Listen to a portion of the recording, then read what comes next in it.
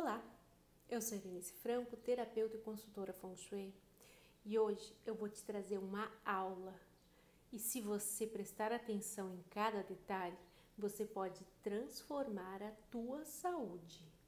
Você só tem que perceber o que a tua casa está falando sobre você. Sim, a sua casa fala sobre você. Ela é um reflexo seu. Quando a gente compra ou muda para um endereço novo, uma casa nova, ela vem apenas com o esqueleto. Ela está lá com as paredes, com as cores. E a partir do momento que você começa a morar nesta casa, a desfrutar deste ambiente, você começa a imprimir nela características suas. Cada objeto, cada cor, cada planta, cada coisinha que você coloca dentro da sua casa é uma impressão sua, é uma conexão que você está criando com ela. Além de tudo isso, a sua casa troca energias com você. Exatamente, você é feito na sua profundidade, lá dentro do teu átomo. A composição maior é energia. Da mesma forma, lá dentro do átomo de qualquer objeto, de qualquer material que compõe a tua casa, também tem a mesma composição que é energia. E todos somos feitos dessa energia condensada que faz então a matéria. Se você quer saber mais sobre isso, busca lá, tem muita coisa na internet falando sobre isso. Mas voltando aqui para casa. Você tem a sua energia, a casa tem a energia dela. E quando você começa a morar nela, vocês começam a trocar essa energia. Até aí está tudo bem, normal, tá? Agora, que é que eu afirmo com tanta verdade que a sua casa fala sobre você? Porque a sua casa, ela vai de alguma forma externar o que você está sentindo. Muitas vezes você não é consciente das próprias emoções, do que você está vivendo. E a casa ela quer te proteger, ela quer te auxiliar de alguma forma. E isso é casa, apartamento, tá? É, é geral. É, é o imóvel que te protege, que te acolhe, é aquele imóvel que você mora. E como que ele faz isso? Através da estrutura dele. Só para você entender o que eu estou falando melhor. A sua casa tem um sistema elétrico, certo? Tá toda lá a fiação, as luzes, com todos os eletrônicos que compõem ela. Você sabe o que quer dizer qual a relação que existe entre o sistema elétrico da tua casa e você? Faz alguma ideia? Pois bem, o sistema elétrico da casa está relacionado ao sistema nervoso dos moradores. Exatamente. Se você tem na sua casa algum problema repetitivo, aquela coisa que arruma, conserta, estraga, arruma, conserta, estraga, relacionado ao sistema elétrico, eu posso afirmar que nesta casa tem alguém muito explosivo, tem alguém que passa por problemas de é, nervosismo extremo, aquela pessoa que vem, puf, explode, tá? É uma pessoa que está sempre nervosa. Então a casa faz o seguinte: ela tenta te ajudar e aí ela assume esse risco, ela assume para ela ela pega, ela troca energia com você, ela sente que você está vibrando nessa, né, nessa energia que vai explodir, se o seu sistema nervoso está a toda, então ela assume. E o que, que pode acontecer? Pode sim dar problemas em toda a fiação, pode dar curto-circuito, pode acontecer de ter muitas lâmpadas queimando. É claro, gente, lâmpada tem vida útil. Eu estou falando aqui de casos em que você colocou a lâmpada, ela está nova, e aí ela queima. Aí você troca, ela queima. Ou em muitas, em muitas casas acontece da, da lâmpada não queimar, a lâmpada simplesmente vai enfraquecendo. Quem que está perdendo energia? Aí você começa a entender qual que é a sua relação com a casa, o que, que a casa está falando sobre você. Então, todo o sistema elétrico da casa está relacionado ao sistema é, nervoso dos moradores. Pode ser apenas uma pessoa que está desencadeando isso, ou pode ser todas as pessoas. Dá uma olhada, veja se na tua casa tem isso e Diz para mim, tem alguma relação aí? Faz sentido? Ok. E o sistema hidráulico tem alguma coisa a ver? Tem sim. O sistema hidráulico também está relacionado com a questão de é, fluir, tá? O sistema, o sistema hidráulico tem várias questõezinhas, mas veja, hidráulico a gente está falando com água. A gente está falando na água que vem, que é energia pura, e também no que leva, no que vai. Então você tem um fluxo muito grande ali. Relacionado ao teu corpo, isso pode estar está conectado com o teu sistema circulatório, todo o seu sistema que tem ali é, a circulação sanguínea, todo e qualquer tipo de problema de saúde que está envolvendo o sistema sanguíneo do teu corpo, o sistema circulatório, tem uma ligação direta com o sistema hidráulico da tua casa. Presta atenção. E também essa questão do deixar fluir. Ah, tem dificuldade em receber água? O que, que não está entrando na tua casa? Ou tem dificuldade em, em sair? Está com encanamento entupido? Será que você está deixando sair as emoções? Será que você está deixando a coisa passar? Ou você está retendo tudo? Quando tem vazamento, ah, sabe aquele vazamento é, na parede que vai criando aquele mofo? Então, o que, que isso tem a ver com a tua saúde? É, com relação à doença, esses vazamentos que vão infiltrando, pode ser doença, aquela doença pequena que vem crescendo, tá? Ou com relação à emoção, é uma vontade de sair, mas você não consegue, você tem que se espremendo ali no meio do cimento para começar a fluir. Então são aquelas pessoas que tentam ir, mas não vão.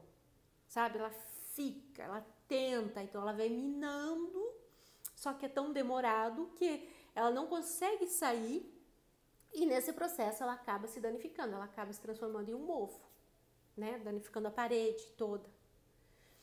É, goteiras, as goteiras têm relação com tristeza, com pensamentos negativos. Quem que na sua casa chora? Quem que na sua casa deixa cair aquela goteira? Presta atenção, tem muita goteira? Você vai lá, conserta a goteira, volta a pingar, conserta a goteira, volta a pingar. Olha, questão emocional, a saúde emocional. Quem está com tristeza? Quem tem depressão nessa casa? Quem tem pensamentos negativos, pensamentos deprimentes? Dá uma olhada, olha na tua casa, pensa aí, reflete comigo, pensa comigo. É, vamos lá, mais uma coisa que é bem interessante portas e janelas. É sempre e é importantíssimo que todas as portas e janelas abram-se todo.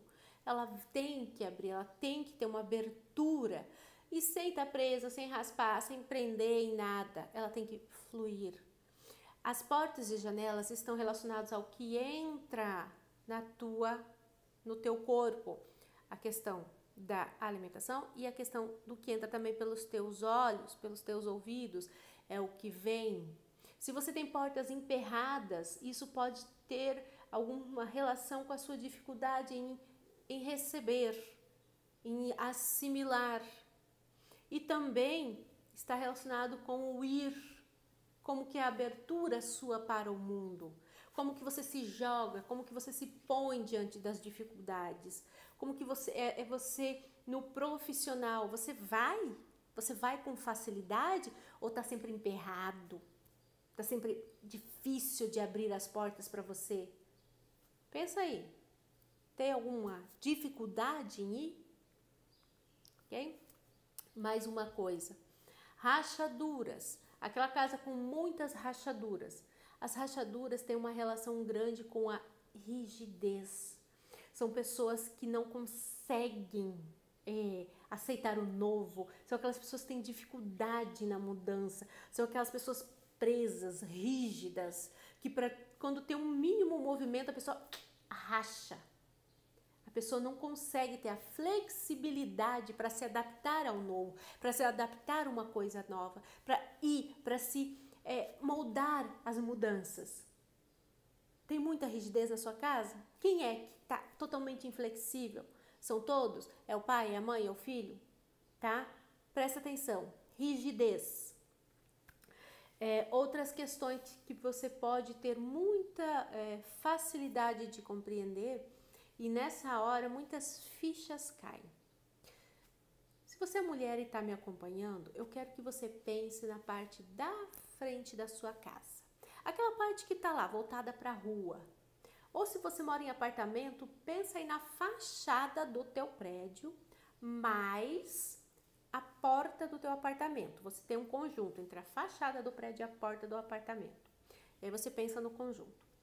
Você olhando para essa entrada da tua casa, te coloca lá, do lado de fora, tá? Faz, monta essa imagem na sua cabeça. Se coloca lá do lado de fora da tua casa e olha para tua casa. Olha para o portão, olha para a entrada e sem críticas, apenas diga o que tem ali. Como que é essa sua entrada? Uau, maravilhosa, perfeita, decorada, tem plantas, tem vida, tem flores? Não. Tem um pouco de bagunça, tem o que está faltando ali, o muro está tá caindo reboco, o portão de entrada não está abrindo legal, tem dificuldade ali, arruma o portão, quebra o portão, arruma o portão, quebra o portão. Como que tá a pintura, como que tá o muro, como que tá o jardim. Sinceramente, tá? Sinceramente, como que tá? Se está ok, parabéns. A sua autoestima, mulher, está lá em cima. Você é uma mulher que tem autoestima e que vai para frente. Agora, se a frente da sua casa, se a fachada do seu prédio, se a porta do seu apartamento está meia caidinha, vamos lá, vai ter que mudar para você dar um up na sua autoestima. É automático. Mulher, vá para frente da tua casa e dá uma geral. Põe cor, põe vida, põe plantas, põe o que tu conseguir, tá? Mas deixa a tua, a tua entrada, deixa vir. Toda a parte da frente da casa está relacionado com o feminino, com os femininos dessa casa. Podem ter mais de uma, uma mulher nesta casa. Então, toda a parte feminina da casa está representada pela frente. E como é a tua frente, é, é como tu é aqui. Eu tô uma pessoa aberta, eu sou uma pessoa que vou, que tô feliz, que não tô nem aí pro que dizem de mim. Eu sou segura de mim. Eu tenho uma, eu tenho uma, eu tenho um, um portão imponente. Ou eu sou transparente, eu tenho muros de vidro, eu sou uma pessoa transparente, está tudo ok, eu não escondo nada. Ou eu sou muito fechada, o meu muro é extremamente fechado. Presta atenção, como que é? O que, que essas cores que estão na tua, na tua fachada falam sobre você? Você é uma pessoa alegre? Você é uma pessoa fechada? Você é uma pessoa que tem autoestima? Você é uma pessoa transparente? Faz algum sentido? Tá conseguindo se enxergar nisso tudo? Conta pra mim depois aqui embaixo. Manda uma mensagem. Lembrou daquela amiga que precisa ter uma percepção? Você vai mandar esse vídeo depois para ela, hein? Você vai marcar ela aqui, hein? Combinado? Outra coisa, tá? Se na frente é o feminino, o masculino está lá atrás, está nos fundos da casa. E como que eu vou ver isso?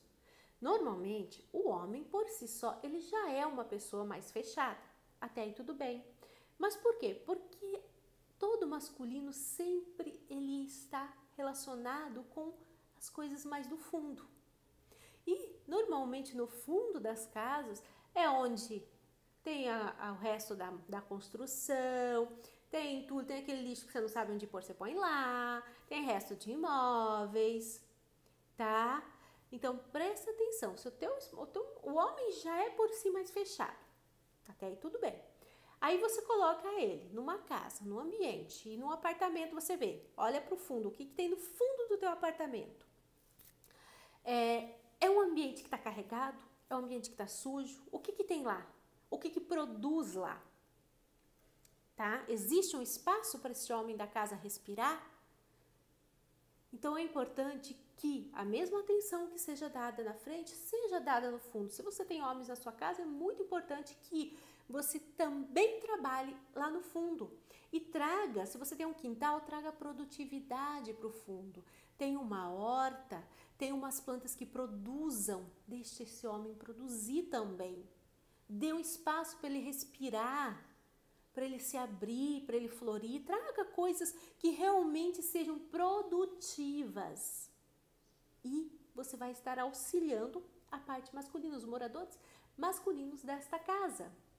Em um apartamento, poxa, qual que é o cômodo do fundo? O que, que tem naquele cômodo do fundo? Tá entulhado? Às vezes está lá uma dispensa, está lá um, um quartinho que não é usado. Dá uma olhada. Se está ok, beleza, está tudo bem. Mas se não está ok, vai dar uma mexidinha. Vai dar uma cuidada lá. É muito importante. Todas as partes da casa, eu trouxe algumas agora, mas todas as partes têm uma relação com a saúde, tem uma relação muito próxima, muito íntima com os moradores tá? E se você tem algum tipo de dificuldade em se expressar, em alguma dificuldade de ou ser apoiada no seu projeto, no que você faz, talvez a tua casa esteja precisando te auxiliar. Só para você, só mais uma dica aqui. Apoio, o apoio está muito relacionado aos criado mudo na sua cama. A sua cama tem uma função incrível na sua casa e eu vou falar disso em algum vídeo. E o apoio você tem dos criados mudo. Como que é o criado mudo na sua casa? É legal? É ok? Tá bem feito? Tá bem organizado? É firme? Ou é tacapenga? Nem existe? Vamos lá, agora em ação. Vai para tua casa, olha a tua casa e começa a mudar. São dicas que tu vai levar para tua vida. Presta atenção em tudo que eu falei. Lembra disso? Se tiver dúvida, revisa, manda uma mensagem para mim, eu vou te responder, mas eu quero que você coloque isso em ação, porque conhecimento sem ação não é nada. Eu tô dando aqui para vocês uma aula para vocês mudarem a, a casa de vocês e se conhecerem. Isso aqui que vale a muitas sessões terapêuticas. Olha para você, olha para tua casa, sente, se conecta com ela. É autoconhecimento. A tua casa fala sobre você. Então aproveita isso tudo que ela tá te contando e ponha em prática as, as alterações agora mesmo. Ok, minha querida? Tem alguma dúvida? Manda para mim, deixa seu like, compartilha com as amigas e muita gratidão por me acompanhar aqui.